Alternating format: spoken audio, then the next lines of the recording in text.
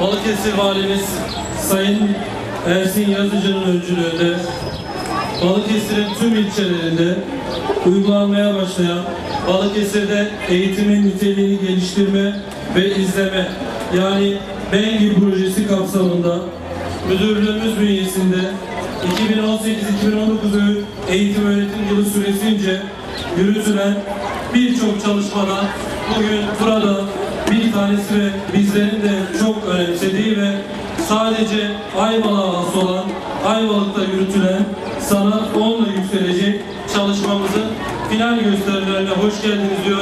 Sizleri saygıyla selamlıyorum.